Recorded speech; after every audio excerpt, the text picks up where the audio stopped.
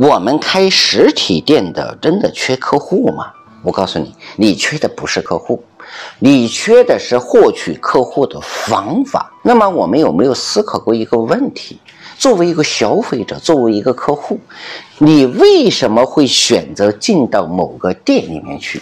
是不是因为这个店和别人有完全不一样的地方？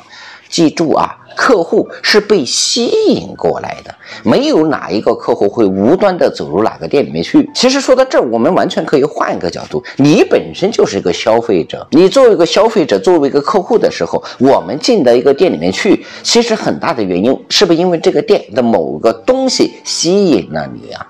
那么我们能够吸引客户的点也很多，那么我们能够吸引别人的点就会很重要。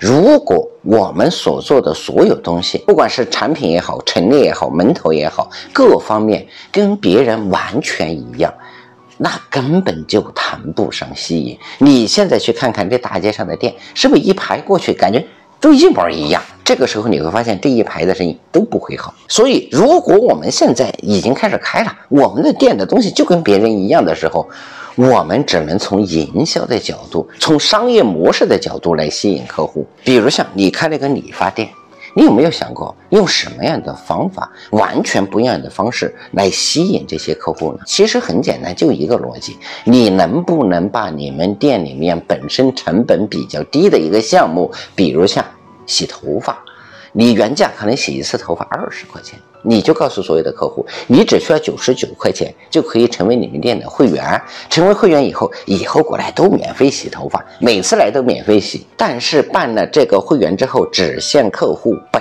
人。那么站在客户的角度来说，他就会觉得，哎呦。我原来洗一次二十，现在你九十九块钱，我洗五次就把这个钱给赚回来了。哎，我这一年怎么着也得洗个二三十次头发。你看这个时候他觉得赚钱了，他就愿意来。但是他来了之后，你想想，他以后剪头发、做头发、烫头发、染头，不都在你这儿了吗？这个啊，只是免费的一种应用，也是左下角实体小店创业实操课里面给大家讲的副产品免费的一种方式，也是会员制的一个方式。当然，我们所有的这些。实体店，我们自己要去做出能够吸引客户的这个点，方法还有很多。这也是建议大家去认真研研究一下实体小店创业实测课最主要的原因。